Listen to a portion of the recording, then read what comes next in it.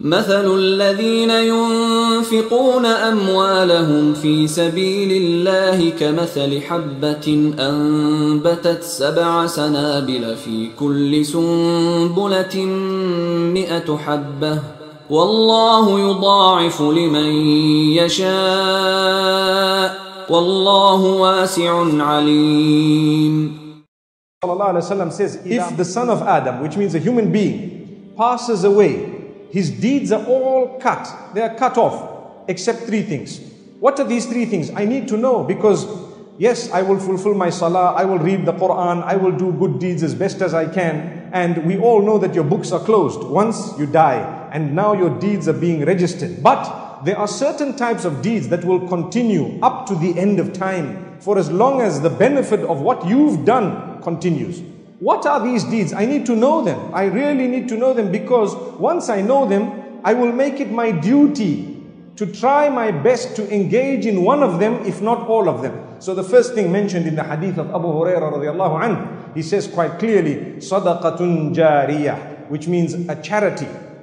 Not any old ordinary charity, but that which is jariyah. What is the meaning of jariyah? That which is flowing or continuing. It flows. I'm gone, but what I did, the benefit of it continues. So you establish a school, for example, you will perhaps die. In fact, you have to, and so will I. But if that school teaches goodness and continues for hundreds of years, centuries sometimes, by the will of Allah, you will achieve a great reward. Imagine this is why the hadith says, Man bana lillahi masjidan, banallahu lahu baytan fil jannah. Whoever builds for Allah subhanahu wa ta'ala a house.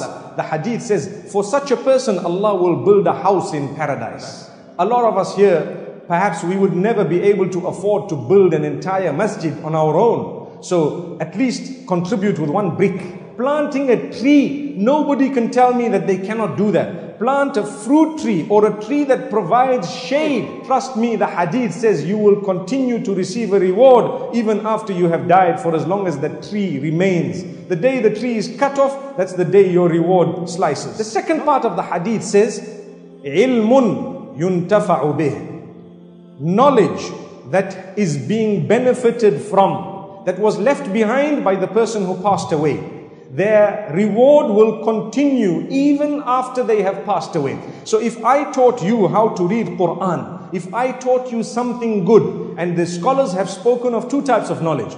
That knowledge which is religious, which is connected to your link between you and Allah, that is definitely there. But even the knowledge that is connected to the worldly life, that is beneficial, is also included in there. This is why one narration the Prophet ﷺ clearly says, the best from amongst you, those who have learnt the Quran and taught it. The best. You cannot compete with that person. So one might ask, what does it mean? It means all disciplines connected to the Quran. Everything, not only the recitation, that's included, but not only that the recitation, the perfection of the recitation, yes. The memorization and the perfection of it, yes. The translation and the perfection of it, yes. The tafsir and the deeper explanation and the perfection of it, yes. So take a look at the last part of this hadith of Abu Hurairah radiallahu anhu in Sahih Muslim. We said the first is sadaqatun jariyah, that is the, the deed we are talking about, and that continues later on after a person has passed away. The second is knowledge that is benefited from after you've passed away. And sometimes that knowledge could be in the form of CDs, in the form of discs, in the form of books, in the form of uh, apps, in the form of so many other things. Trust me, that is you building your palace in the akhirah. May Allah help us.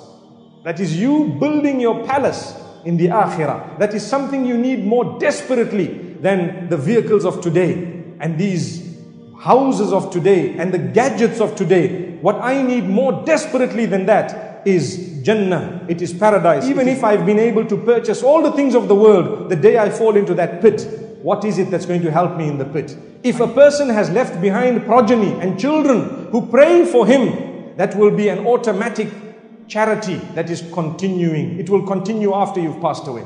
This means that for me to spend time with my children is already an investment for the akhirah.